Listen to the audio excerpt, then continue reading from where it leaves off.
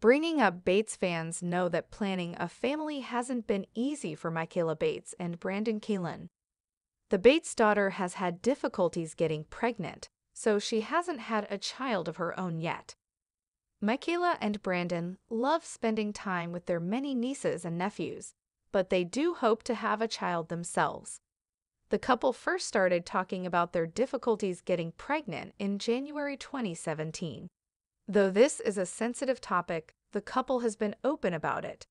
This has led to them getting lots of love, support, and prayers from their social media followers. On the family show, Michaela previously said, Brandon and I have talked a lot about having children. I would have as many as I possibly could. In the past, the couple has revealed that they are open to adoption if that's what God leads them to do. In 2017, Brandon talked about this on the show, saying, That is an area we want the Lord to have control in. He is just saying no for now. We hope it's not no for always, but it's no for now. Since then, the couple has decided to keep things a little more private. While they want to raise awareness about infertility, this is something that they feel needs to be dealt with privately at this time. Michaela Bates gives a fertility update. On the couple's shared Instagram account, they posted an Ask Me Anything question box. In response, one fan asked if Michaela could share about her fertility journey. This is a question that Michaela decided to answer.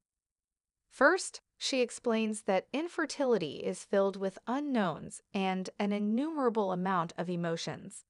She says that she didn't realize just how difficult infertility would be to deal with. She wanted to open up about it on the show because she wanted to help others feel less alone. She continues after much prayer and conversation together, we decided to film one of our doctor visits. But afterwards, I found that sharing something so personal and painful in such a public way was very difficult for me. After that appointment, we decided that we wanted to walk this pathway a little more privately. Michaela adds that they took a break from seeing doctors and receiving treatment while she was in nursing school. She's since graduated so she has started seeing a fertility specialist. So far, the couple hasn't gotten any answers. Finally, she ends her message by thanking her followers for all of their love and support along the way. For the latest on the Bringing Up Bates family, check back with TV Shows Ace.